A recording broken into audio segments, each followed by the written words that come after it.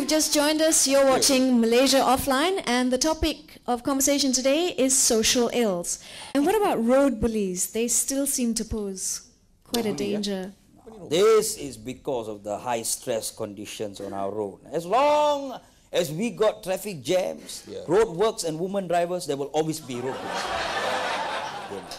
it's it, actually, we are unfortunate that our jurisdiction does not cover the road transport system. Ah. Because all we need to do is just ban women drivers, we will solve the problem.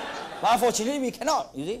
So the only other way, what we found out is, we have to find another way to relieve the stress factor or give the road bully an alternative venue to vent out his frustration in a ah. more constructive, productive, and more legal outlet. Let go some steam lah. And where, where do you, where Well, would so you our psychological profile is very important. So what is a road bully? A road bully is someone who overpowers, dominates, and victimizes his opponent in a point of stress and confusion. So what we are going to do is we are going to enlist all road bullies with the FRU. You mean the Federal Reserve Unit? Ah, Federal Reserve Unit No, kan no, lah. The one- They will be, they will be part of the volunteer corps. Ah. Volunteer corps of the Federal Reserve. Uh, Also known as the unit. VCFRU. VCFRU. VCFRU. A part of their rehabilitation is they have to do a community service every weekend at the stadium during the football matches, where they can beat up and kick the public who get out of line. lah.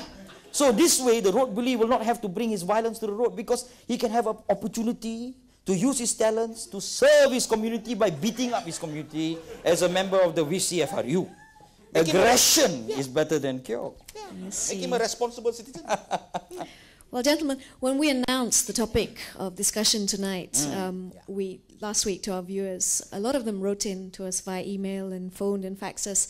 We, and the top of the list of questions for you actually was, what does your unit propose to do about corruption at the highest level? Corruption. You know, I, I- you At know, what level? At the highest level. I know, I know, I know. You see, accusing our leaders of corruption is a current social ill. It is true. It is a social ill. They shouldn't. They shouldn't do that.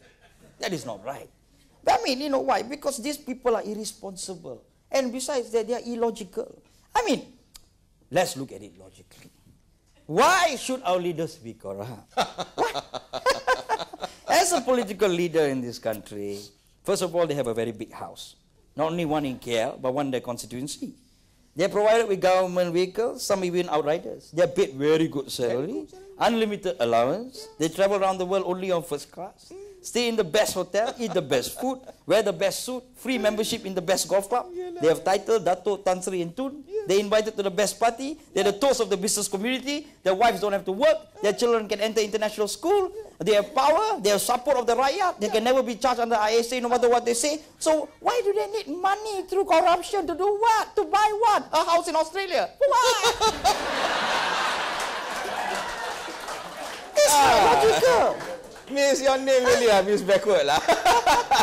you know, they have already everything that money cannot buy, let alone what money, can buy. so these members of the public who complain and accuse our leaders of corruption are irresponsible. Very irresponsible. Or to use a word that the PM used to describe such irresponsible acts, he described it as stupid. Stupid. No, we will continue our strategy of completely ignoring these people. We just ignore them. Ah, and this will hopefully curb the social ill. You see, ignoring, is, better, than, cure.